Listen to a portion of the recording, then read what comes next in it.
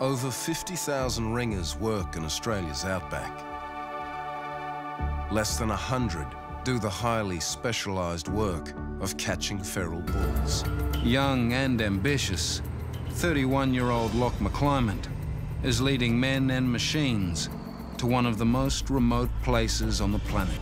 Nicholson is 19 hours drive from the nearest city.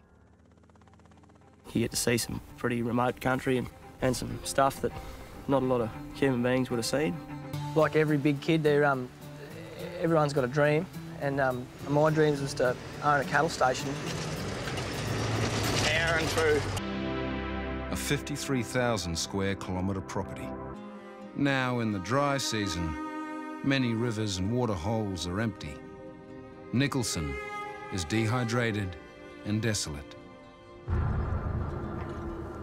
To get the rubber down in that. Yeah. We're getting an old bore going. Johnny Hayes from Hellsgate Roadhouse, he's just flowing in. Bit of a professional bore man. Water will come up inside there. Hopefully. It's not hooked on there yet. It's not just Loch's team who are depending on this water. Down a bit. Over the next month and a half, hundreds of bulls will be caught. And without water, they can't be kept alive.